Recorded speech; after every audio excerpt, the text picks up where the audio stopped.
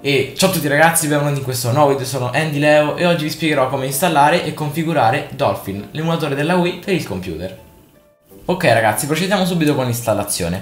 Come possiamo vedere siamo sul mio computer e qui abbiamo Dolphin Master 5.0 bla bla bla X64 Praticamente sarebbe eh, l'emulatore per la versione Windows 64 bit. Questo emulatore potete installarlo anche per la versione 32 bit di Windows. Io in questo caso ho scaricato la versione beta. Vi consiglio di scaricare o una versione eh, di tipo beta Oppure una versione stabile come le chiamano sul sito. Quindi cominciamo subito.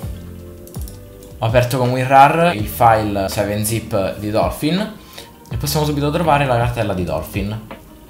Apriamola e qui abbiamo direttamente l'emulatore pronto per essere utilizzato. L'unica cosa che dovremo fare è trovare la cartella dove vogliamo estrarlo, in questo caso io l'ho piazzato su D-Games, come potete vedere, eccolo qui. E niente, eh, vi faccio vedere subito come funziona, non c'è bisogno di nessuna installazione, almeno per la versione beta, eh, l'emulatore è già qui pronto, lo possiamo avviare con un doppio clic o creare anche un collegamento sul desktop.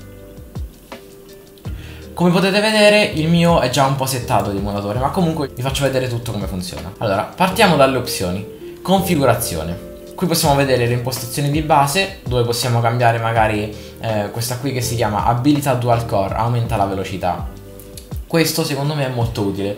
Io l'ho abilitato perché ho un processore che ha diversi core poi abilita trucchi nel caso che ne so qualche gioco abbia qualche trucco immagino. E qui altre impostazioni che non ci interessano molto se non limite velocità dell'emulazione 100% che è quella standard.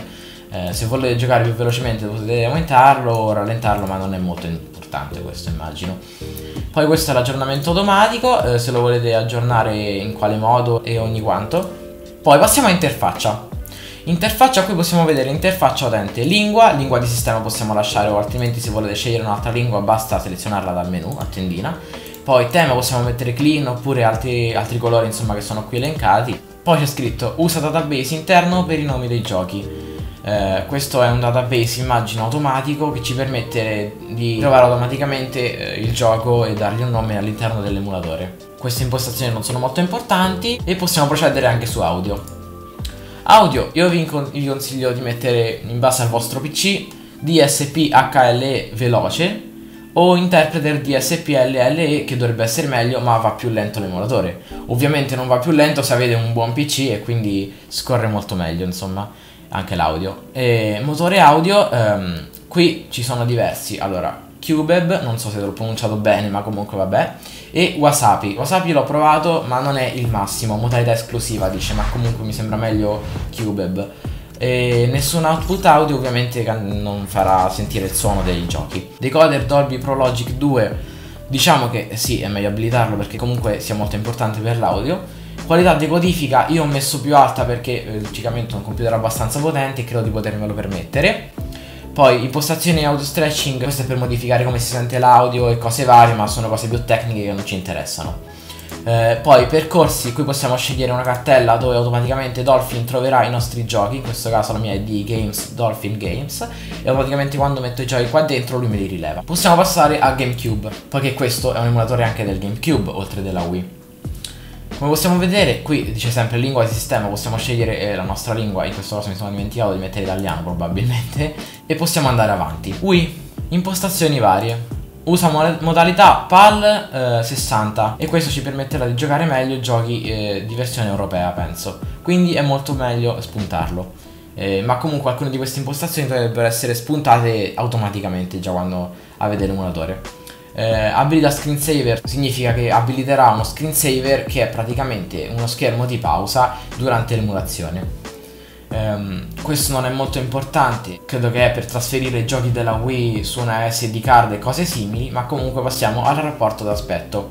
16 noni vi consiglio, se volete giocare l'originale 4 terzi su alcuni giochi, poiché molti giochi della Wii erano, erano originalmente in 4 terzi, potete farlo tranquillamente mettendo 4 terzi ma comunque preferisco sempre 16 noni anche se è strecciato cioè diciamo portato appunto più largo lingua di sistema sempre italiano Suono vi consiglio stereo a meno che non avete qualcosa di particolare come mm, surround, ma questo eh, credo che rallenterà anche un po' le prestazioni dell'emulazione. E poi possiamo andare in avanzate. CPU Emulation Engine. Io questo l'avevo di default, ricompilatore JIT consigliato infatti e questi credo che siano in base al computer che vi vuol permettere magari di fare un'esperienza migliore eh, ma comunque credo che è meglio lasciare consigliato qui. Qui sono impostazioni più tecniche che non ci interessano molto.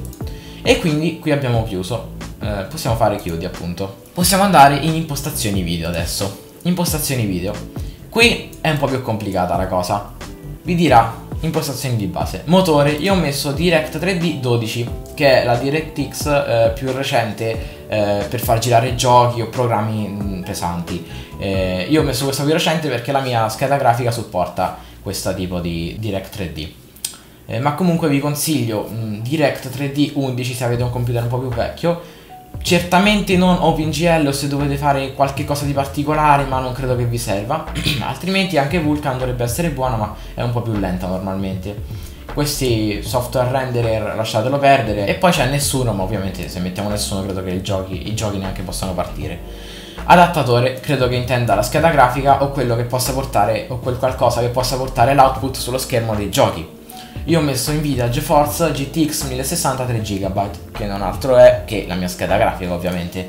Rapporto d'aspetto adatta a finestra, forza 16 noni, forza 4 terzi, ma comunque se prima abbiamo messo 16 noni sulle impostazioni credo che può bastare mettere adatta alla finestra. Eh, altrimenti potete mettere 4 terzi, se non vi metti 4 terzi automaticamente anche durante il gioco. V-Sync Qui possiamo eh, abilitare la sincronizzazione verticale de, dell'emulazione su schermo per darci un'esperienza migliore, ma questo anche vi consiglio di metterlo se avete un computer molto potente. Poi avvia schermo intero, questo vabbè è normale, potete metterlo tranquillamente senza premere qualche tasto aggiuntivo, il, il gioco si avvierà automaticamente a schermo intero. Poi altro, queste sono cose tecniche, come ad esempio mostra FPS per vedere quanti FPS fa il gioco, ad esempio. Poi c'è renderizzo nella finestra principale, mostra messaggi netplay, eccetera, eccetera. Compilazione shader. Qui io vi consiglio di mettere sincrono. C'era già di default, dovrebbe essere più o meno ottimale per tutti i computer. Poi miglioramenti. Risoluzione interna, qui c'è un po' da lavorare, ovvero dipende dal vostro computer e anche dalla risoluzione del vostro monitor o cose simili. Io ho messo 1920x1584, che è più o meno 1080p insomma, mm, che, il, che equivale al 3x del nativo. Beh, diciamo che io vi consiglio 720p, ovvero 1280x1056 perché è un po' meno pesante. Se proprio avete un computer portatile anche un po' vecchio, nativo 640x528, ma ovviamente abbassando questo valore si vedrà un po' peggio eh, il gioco. E altrimenti se avete un computer molto potente, se proprio l'avete potente anche più del mio, potete anche arrivare a 2K, 4K e cose simili. Eh, c'è anche automatico, ma credo di sconsigliarvelo. Eh, poi anti-aliasing, eh, io ho messo 4 per SSAA. Beh, in questo caso potevo anche mettere di meno, infatti lo sto ancora un po' testando l'emulatore, non ho giocato molte cose qua. Eh, però vi consiglio o nessuno o massimo 4 per MSAA. Io ho un processore molto potente e la scheda grafica abbastanza buona, quindi credo di potermi permettere mh, mm, anche quella che avevo già scelto, cioè questo qui. Eh, filtraggio anisotropico, anche qui è più o meno come l'anti-aliasing, quindi io ho messo 16 per, ma voi mettete mm, 2 per, 4 per, massimo vi consiglio. Mm, effetto di post processing, qui è per migliorare un po' di nuovo il gioco, ma mm, diciamo che ve lo sconsiglio, neanche io l'ho messo perché mi sembra che mi laggava quando l'ho messo questa impostazione. Poi copia in F e FB in scala eccetera eccetera. Questo alcune le potreste spuntare per provare magari ma comunque vi consiglio di lasciare, tu- di lasciare tutto predefinito in questo settore. Poi stereoscopia modalità stereoscopia 3D non credo sia niente di speciale non so praticamente serve per migliorare l'esperienza di gioco sempre ma è una cosa che comunque rende tutto pesante e dovete avere un monitor particolare credo per abilitare questa opzione e vedere dei risultati. Quindi lasciamo perdere anche questo Axe. Qui eh, Embedded Frame Buffer EFB e qui mh, mm, credo di lasciare, sì potete lasciare tranquillamente tutto automatico, eh, predefinito e Cache Texture potete mettere se sicura, ovvero eh, diciamo il migliore possibile, oppure rapida, cioè che ve lo carica più velocemente ma allo stesso tempo diciamo che mh, mm, non si vede un po' peggio. Però comunque mi sembra che Rapida era già messo e io lo gioco tranquillamente i giochi sull'emulatore, quindi credo che vada bene anche Rapida così. Decodificatore texture GPU significa che se avete una buona GPU eh, potete metterlo tranquillamente e qui con questo potete vedere sempre meglio i giochi e tutto il resto. Externa frame buffer, eh, qui credo che potete lasciare com'è, ehm, stessa cosa qui, e avanzate. Su avanzate invece abbiamo abilità wireframe, mostra informazioni eccetera eccetera, queste sono appunto avanzate quindi è ancora più particolare il tutto. E non credo che dovete spuntare niente a meno che non dovete fare qualche test esagerato di emulazione o cose simili ma non ci serve in questo momento. Poi abbiamo impostazioni audio. Impostazioni audio eh, ci siamo già stati era dove era impostazioni di base eccetera eccetera. Come potete vedere ce l'abbiamo già visto ehm, poi impostazioni controller qui eh, potete configurare per tutte e quattro le porte dei controller che potete connettere via usb bluetooth quel che è eh, la configurazione appunto. Io ho messo controller standard e poi ho messo configura. Dopodiché ho preso il mio controller e ho assegnato ad ognuno eh, dei tasti quello corrispondente eh, sull'emulazione. Ora vi faccio vedere. Ok ho connesso il mio controller. Possiamo vedere che dovrebbe essere x input 0 gamepad e qui possiamo vedere eh, A eh, equivale al, al, button X eh, in questo caso vi dice anche qui clic sinistro del mouse per rilevare l'input clic centrale del mouse per cancellare, clic destro eh, del mouse per altre opzioni. Ok, quindi clicchiamo il sinistro, aspettiamo un attimo e dopodiché possiamo premere il nostro pulsante sul gamepad, ok? In questo caso se io premessi la X del uh, Xbox One dice button X e credo che se premo un altro tasto succeda un'altra cosa. Premuto A, button A. Questa è la configurazione che se volete potete copiare perché è corretta questa qui almeno io mi ci trovo bene per diversi giochi, ma ovviamente varia per diversi giochi anche questo. Eh, alcuni giochi serve meglio giocarlo con altre configurazioni di tasti sul proprio gamepad, poi dipende con cosa giocate, appunto. Ma comunque questo, almeno io ho giocato a qualche gioco di Dragon Ball e ho provato, mi sembra qualche Super Mario, ma ho, ho, cambiato leggermente qualche tasto, ma comunque dovrebbe andare più che bene. Come potete vedere la configurazione è appunto questa, eh, potete copiare tranquillamente il tutto e nulla, qui anche abbiamo finito, potete creare un profilo, quindi salvarlo e caricarlo, io ho questo dell'Xbox e possiamo fare chiudi. Poi eh, qui possiamo fare emula l'adattatore Bluetooth del Wii e qui possiamo emulare un Wii Remote appunto che è quello che ci servirebbe emulare eh, nella, porta del, nella porta del controller. Quindi dovrebbe essere già tutto di default qui, quindi lasciate così insomma. E possiamo fare chiudi anche qua una volta fatto tutto eh, impostazioni di tasti di scelta rapida, qui se volete fare qualcosa velocemente con qualche tasto da tastiera mentre giocate, ma non credo che vi serva troppo a meno che non fate qualche test particolare.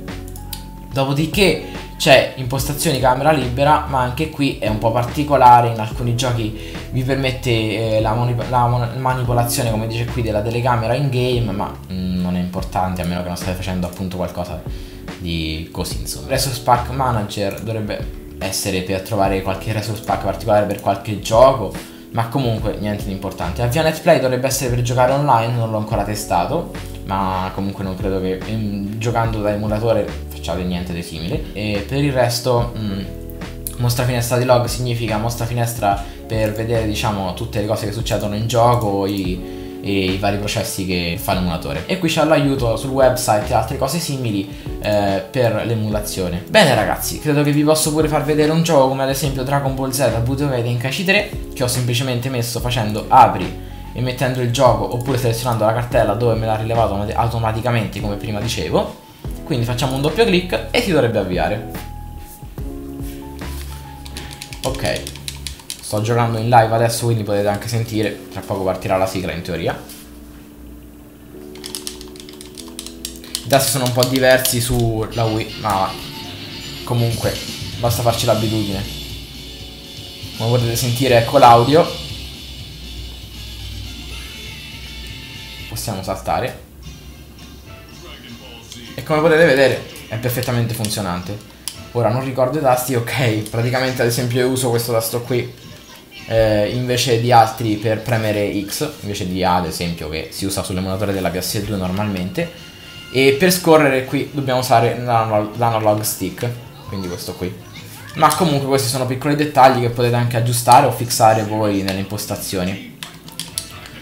E niente, ecco qui. Mm, il gioco risulta leggermente diverso, ma comunque normalmente Tenkaichi 3 eh, sull'emulatore della Wii risulta sempre migliore dell'emulatore della PS2 perché la Wii è sempre stata migliore quindi anche emulata sul computer risulta sempre meglio normalmente. E, e, niente, e niente, ecco qua, possiamo tranquillamente selezionare Super Saiyan 3 o personaggi random, insomma. Selezioniamo uno stage a caso. Faccio fare un po' di flessioni a Vegeta. Ed eccoci. Ora sto registrando quindi potrebbe laggare leggermente, ma comunque per il resto è ottima secondo me anche l'emulazione e tutto.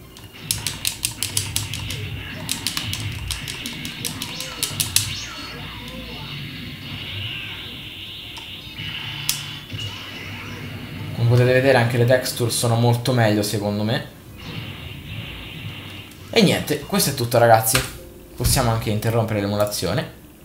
E niente, questo è tutto da Andy Leo. Noi ci vediamo in un prossimo video. Vi lascio qui con l'emulatore della Wii e GameCube. Quindi, se volete, potete anche scaricare dei giochi GameCube. A patto che magari voi abbiate, abbiate la copia originale. Perché in teoria scaricare giochi GameCube o Wii senza averli, almeno possederli, eh, dovrebbe essere un piccolo reato.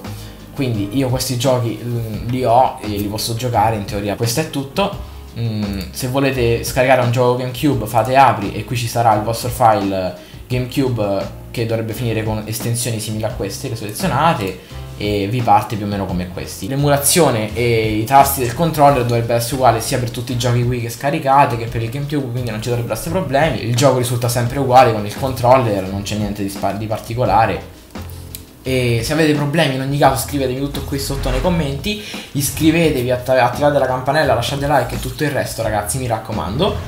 Noi ci vediamo nel prossimo video, questo è tutto da Andy Leo. Ciao ragazzi!